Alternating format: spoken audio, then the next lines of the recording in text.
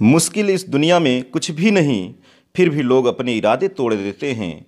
अगर सच्चे दिल से हो चाहत कुछ पाने की तो सितारे भी अपनी जगह छोड़ देते हैं। दोस्तों, मैं बाबूराम पटेल, आप सबका अपने यूट्यूब चैनल बायोलॉजी जोन में आज एक बार फिर से स्वागत करता हूँ। दोस्तों, आज का जो हमारा टॉपिक है, हम लेकर के आए हैं एनीलिडा फाइलम का महत्वपूर्ण जीनस नेरिस नेरिस अथवा नियंथिस। तो चलिए, आज देखा जाए पूरा टोटल जो हम अध्ययन करने वाले हैं नेरिस के बारे में, चलिए देख लिया जाए। देखिए, सबसे पहले आपको एक बार हम याद दिला दें, जो हम लोग फाइलम पढ़ रहे थे, एनीलिडा। एनीलिडा में हम लोगों को तीन जीनस पढ़ना है। एक तो आर्थवर्म हो गया फेरीटीमा पोस्थुमा हो गया, दूसरा हो गया leech, Indian cattle leech, Hirudinaria granulosa, और यह तीसरा है नेरिस नेरिस वायरेंस चलिए देखा जाए सबसे पहले इसका क्लासिफिकेशन क्या है भाई? क्लासिफिकेशन तो इसका क्लासिफिकेशन में फाइलम आप जान रहे हैं कि यह एनीलिडा का सदस्य है, ठीक है? नेरिस फाइलम एनीलिडा का सदस्य है और इसका जो क्लास है पॉलीचीटा है, ठीक है? आप जानते हैं महत्वपूर्ण इसमें तीन क्लास हैं, वैसे तो चार क्लास हैं एनीलिडा के अंतर्गत, ठीक है? तो आलिगोट चीटा का जो है आपका केचुआ था, ठीक है? और हीरोडिनी का जो था, वो हीरोडिनेरिया था और पॉलीचीटा का सदस्य यह नेरिस है और इसकी फैमिली क्या है भाई? नेरिडी और जीनस इसका नेरिस और स्पीसीज है वायरेंस ठीक है? तो नेरिस वायरस के बारे में हम लोग बात करने वाले हैं। चलिए देखा जाए सबसे पहले। इसे देखिए कॉमनली कॉल्ड इसे सामान्य रूप से क्या कहा जाता है? तो इसे सामान्य रूप से सैंड वर्म सैंड वर्म कहते हैं। अथवा इसे दूसरा नाम रैग वर्म कहते हैं। अथवा इसे दूसरा नाम क्लाइम वर्म कहते हैं, ठीक है? क्योंकि यह जो है, रेतीली जो भूमि होती है, रेतीली भूमि में, समुद्र के छिछले जल में, पत्थरों के नीचे या रेतीली सुरंगों में यह रहते हैं, सुरंग, अर्थात बरो, बिल बनाकर रहते हैं, और इनकी बिल जो होती है, वह भी यू आकार में बना लेते हैं। और ये कुल मिलाकर देखिए, अगला पॉइंट्स क्या है कि मैराइन पॉलीचीटा होते हैं। मैराइन पॉलीचीटा और इसके साथ साथ ये कार्निवोरस होते हैं, अर्थात ये मांसाहारी होते हैं, ठीक है? मांसाहारी होते हैं। फ्री लिविंग होते हैं, यह अर्थात पैरासाइट नहीं है, ये मस्ती में यह रहना चाहते हैं, अकेले रहना चाहते हैं, किसी के ऊपर चढ़ के, किसी के अंदर घुस के नहीं रहना चाहते। नाक्चुरनल मतलब यह रात्रिचर प्रणाली है, यह छुप कर रहना ज़्यादा पसंद करता है और किस समय निकलता है? रात्रि के समय में यह निकलता है, रात्रि के समय में यह चलता है। अगर इसके रंग की बात करें तो गुलाबी सा थोड़ा सा होता है और इसकी जो है, लगभग जो है, इसकी लंबाई 20 से 40 सेंटीमीटर, शरीर पतला होता है और ऊपर नीचे कुछ चपटा तथा 80 से 200 इसमें जो है सेगमेंट्स में यह बटा होता है, ठीक है? और इसमें अग्रछोर और स्पष्ट जो है शीर्ष भी होता है, ठीक है? चलिए देखा जाए, आगे क्या है? ड्यूरिंग द ब्रीडिंग सीज़न सबसे ज़्यादा महत्वपूर्ण यह पहला ही पॉइंट हमने शामिल किया है, इसे आप ध्यान दीजिएगा। ड्यूरिंग द ब्रीडिंग सीज़न जनन काल के समय में घटना क्या होती है? कि द नेरिस स्विम्स, जो नेरिस होता है, वह तैरने लायक हो जाता है और एक्टिवली सक्रिय हो जाता है एंड बिकम्स हेट्रोनेरिस उस समय यह जो नेरिस की अवस्था है, वह हेट्रोनेरिस में बदल जाती है। अर्थात नेरिस तब हेट्रोनेरिस कहलाता है। कब कहलाता है? जब इसमें जनन की क्षमता आ जाती है। जनन काल के समय, जनन करने का इसमें मौसम उत्पन्न हो जाता है। उस समय इसे कहते हैं हेट्रोनेरिस ठीक है? हेट्रोनेरिस कहा जाता है। अभी मैं इसे विस्तार से आगे समझाने वाला हूँ, दोस्त। अगला पॉइंट्स क्या है? देखिए कि बॉडी इज़ लॉन्ग इसकी बॉडी क्या होती है? लंबी होती है लॉन्ग होती है। और सिलेंडर यह पतला, इसकी बॉडी कैसी होती? है पतली होती है। टैपरिंग मतलब ये टेप टेप तरह फीता समझते हैं, चपटा। उसकी तरह होता है पोस्टीरली एंड स्लाइटली और पीछे जो है स्लाइटली मतलब थोड़ा सा डार्सो वेंट्रली फ्लैटिंड होता है, चपटा होता है, ठीक है? तो यह नेरिस और इसमें हम आपको बता दें, जो इसकी विशेषता है, बहुत ही महत्वपूर्ण है यह नेरिस ये महत्वपूर्ण इसमें कुछ ही पॉइंट्स हैं जो ज़्यादा महत्वपूर्ण हैं। उसके बारे में देखिए, हम बात कर रहे हैं। तो और इसमें क्या महत्वपूर्ण है? देखिए नेरिस इज़ मेटामेरिकली सिगमेंटेड और इसमें जो है, इसका भी शरीर जो है सेगमेंट्स में, खंड्स में बटा होता है, ठीक है? खंड में मेटामियर में इसका शरीर बटा होता है। और इसकी जो बॉडी होती है, इसका जो शरीर होता है, वह कितने सेगमेंट्स में? 80 से एक 80 से 200 सेगमेंट्स में इसका शरीर जो है, बटा होता है। 80 से 200 खंड इसके शरीर में पाए जाते हैं। और इसकी पूरी जो शरीर होती है, तीन भाग में बटी होती है।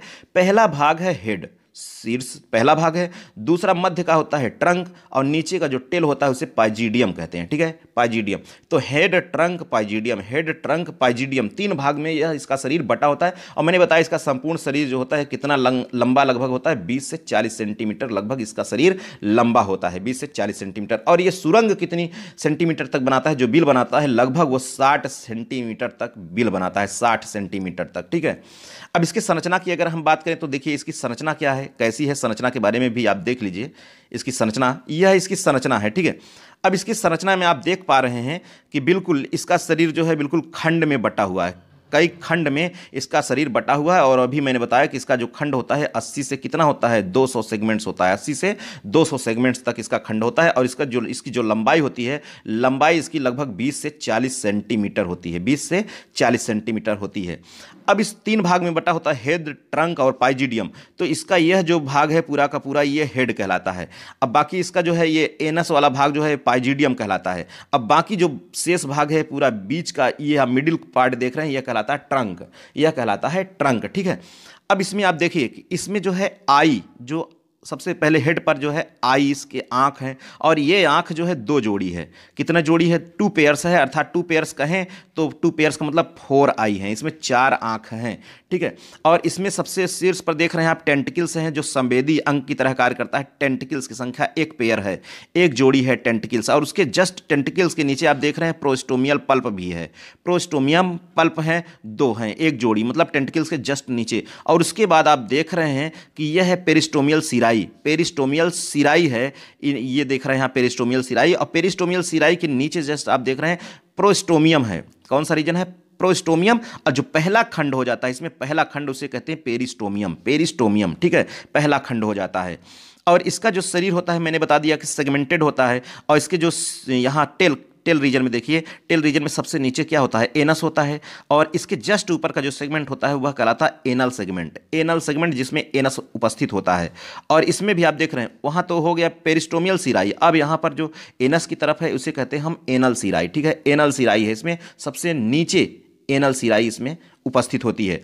और इसके साथ साथ आप देखिए, इसमें जो गमनांग होता है गमन अंग लोकोमोटरी आर्गन्स होता है तो इसमें आप देख रहे हैं कि पैरापोडिया, ये देखिए हम आपको बता दें, जो ऐसी संरचना है इसके शरीर में, यह होती है पैरापोडिया। अब पैरापोडिया के बाद इसमें जो निकली होती है संरचना ऐसे, यह कहलाती है सीटी ये क्या कहलाती है दोस्त? ये सीटी है। तो इसमें जो निकली है ये संरचना ये सीटी है, बाकी सीटी कहाँ से जुड़ी है? पैरापोडिया से। तो पैरापोडिया और सीटी ये दोनों इसके जो है, गमनांग होते हैं गमन अंग होते हैं, बाकी बाकी इसका आप समझ रहे हैं कि यह बॉडी सेगमेंट है इसका, जो इसका है, ये पूरा शरीर का खंड है, ठीक है? शरीर का खंड इसमें है। देखिए, द सेक्सुअल मैच्योर फ़ेज़, लैंगिक की जो परिपक्व अवस्था होती है, ऑफ़ नेरिस, जब नेरिस में लैंगिक रूप से परिपक्व अवस्था आ जाती है तो अब इसे हेट्रोनेरिस कहते हैं। अर्थात जब ये इसमें परिपक्व अवस्था नहीं है और दूसरा जो है, सक्षम नहीं है कि दूसरा नेरिस डेवलप करे, तब ये नेरिस कहलाता है। जब इसमें क्षमता आ जाती मैच्योर हो जाता है, परिपक्व हो जाता है, तब इसे हेट्रो नेरिस कहते हैं। पोस्टीरियर हाफ़ जो इसका आधा नीचे का भाग होता है इसके शरीर के आधा नीचे का भाग होता है, वह मैच्योर जब होता है सेक्सुअल रूप से, यानी सेक्सुअल रीजन बना लेता है, तब उस खंड को कहते हैं ईपीटोक यह सबसे ज़्यादा महत्वपूर्ण प्रश्न है ईपीटोक ठीक है? दो शब्द हैं, एक है ईपीटोक और दूसरा शब्द है एटोक। तो ईपीटोक क्या है? ईपीटोक दोस्त, ये समझिए कि पोस्टीरियर हाफ़ पार्ट है पोस्टीरियर जो नीचे का भाग है पोस्टीरियर पीछे का है, और ये मैच्योर होता है सेक्सुअली रीजन बनाता है। मैच्योर होकर सेक्सुअली रीजन बनाता है, इसे कहते हैं ईपीटोक और जो एंटीरियर ए सेक्सुअल रीजन होता है, इसे कहते हैं ए टोक अब समझिए इस बात को, मैं पूरा विस्तार से आपको समझाता हूँ इसको, ठीक है? देखिए कैसे, इसको थोड़ा सा ध्यान दीजिए यहाँ पर, कैसे इसको आप समझेंगे। यहाँ हम बता दें आपको, यह इसका जो इसकी संरचना देख रहे हैं, यह मान लीजिए कि नॉर्मली यह क्या है? यह नॉर्मली नेरिस है, ठीक है? नेरिस है, नॉर्मली नेरिस है। अब यह नेरिस कब हेट्रोनेरिस कहलाता है? जब मैंने बताया कि यह मैच्योर हो जाता है। जब यह मैच्योर हो जाता है, इसमें खंड आ जाता है। कौन सा खंड आ जाता है? बिल्कुल सेक्सुअल रीजन का खंड बन जाता है। सेक्सुअल करने की क्षमता आती है। तो इसका जो आधा भाग है, ऊपर का इंटीरियर जो भाग है, यह इंटीरियर भाग है। ये नॉन सेक्सुअल रीजन होता है। तो जो नॉन सेक्सुअल रीजन होता है, इसे कहते हैं ए टोक अर्थात आप कह सकते हैं ए से एंटीरियर ए से एंटीरियर एंटीरियर और ए से ए सेक्सुअल और ए से ए टोक ठीक है? तो एंटीरियर भाग जो होता है, जो एक सेक्सुअली रीजन होता है, उसे ए टोक कहते हैं। ए ए ए आप ऐसा समझिए। ए से एंटीरियर ए से ए सेक्सुअली ए से ए टोक तो यह ऊपर का जो भाग होता है एंटीरियर भाग वो ए टोक कहलाता है। ठीक है? नॉन सेक्सुअल होता है। अब यहाँ पर जो नीचे का जो भाग होता है, देखिए, अब नीचे के भाग में हम आपको बता दें कि इसमें जो पैरापोडिया होते हैं, थोड़ा सा लार्ज हो जाते हैं, ये बात ज़रूर ध्यान रखिएगा, ये क्वेश्चन पूछा भी गया है कई बार। जो नीचे के पैरापोडिया होते हैं, ये कैसे होते हैं? ये लार्ज होते हैं पैरापोडिया नीचे वाले, ठीक है? किसकी तुलना में? जो एंटीरियर की तुलना में पोस्टीरियर वाले। और ये स्विमिंग पैरापोडिया कहलाते हैं। स्विमिंग पैरापोडिया ये कहलाते हैं। और यही इसका जो है, नीचे का भाग जो है, यही सेक्सुअल रीजन है। सेक्सुअल रीजन कहलाता है नीचे का भाग। और इसी को कहते हैं इपीटोक। ठीक है, यह भाग कहलाता है इपीटोक। ऊपर का भाग हो गया ए टोक और नीचे का भाग हो गया इपीटोक। और जब नेरिस में यह दो खंड आ जाते हैं ए टोक और इपीटोक, तब उसे कहते हैं हेट्रोनेरिस। हेट्रो मतलब भिन्न, दो प्रकार का इसमें सिस्टम हो जाता है ए टोक और इपीटोक। टोक और इपीटोक। और इसमें देखिए, ध्यान दीजिएगा कि इसमें जो आँख होती है, जो आई होती है, वह होती है दो पेयर। इसमें दो पेयर का मतलब कितनी आँख होती है? चार आँख होती है ठीक है? और ये किसका काम करती है? फ़ोटो रिसेप्टर का कार्य करती है, इसकी जो आँख होती है, ठीक है? देखिए दोस्त, आपको पढ़ने के लिए थोड़ा सा जुनून आपके अंदर होना चाहिए और जुनून रखना पड़ेगा। नहीं तो अगर आप थोड़ा सा इधर उधर चक्कर में पड़े आप तो फिर देखिए तैयार नहीं हो पाएगा, ठीक है? जैसा कहा गया है कि जीतूँगा मैं, यह खुद से वादा करो। जीतूँगा मैं, यह खुद से वादा करो, जितना सोच सोचते हो, कोशिश उससे ज़्यादा करो। तकदीर भी रूठे पर हिम्मत ना टूटे। मज़बूत इतना अपना इरादा करो। तो दोस्त, हम आपको बता दें, अपने इरादे मज़बूत करने होंगे, ठीक है? अपने इरादे बिल्कुल मज़बूत करने होंगे। तो चलिए, अब हम देख रहे थे जो अगला पॉइंट्स है कि प्रोस्टोमियल टेंटिकल्स जो प्रोस्टोमियल टेंटिकल्स होते हैं, इनकी संख्या एक जोड़ी होती है और किसके लिए टच सेंसरी होता है ये टच सेंसरी होता है? और ये महत्वपूर्ण बात यहाँ पर और है नुचल आर्गन ये क्या है? कौन सा अंग है? नुचल आर्गन यह है थोड़ा सा इंपॉर्टेंस है नुचल आर्गन इसे ध्यान रखिएगा, यह भी एक जोड़ी होता है नुचल आर्गन और ये कहाँ होता? है एट इनर साइड और ये काम करता है ऑल फैक्ट्री घृणा संवेदी होता है, अर्थात यह जो है सूंघने ऊँघने के लिए होता है कीमो और अथवा यह जो है कीमो रिसेप्टर भी होता है। कौन सा? Nuchal organ. ठीक है, इसे आप ध्यान रखिएगा। इसकी जो बीच वाला भाग होता है, उसे ट्रंक कहते हैं। क्या कहते हैं? ट्रंक। तो इसकी क्या विशेषता है कि each segment with a pair of parapodia इसके प्रत्येक खंड में एक जोड़ी क्या उपस्थित होता है? पैरापोडिया ठीक है? प्रत्येक खंड में, ट्रंक के प्रत्येक खंड में एक जोड़ी पैरापोडिया उपस्थित होता है। ठीक है?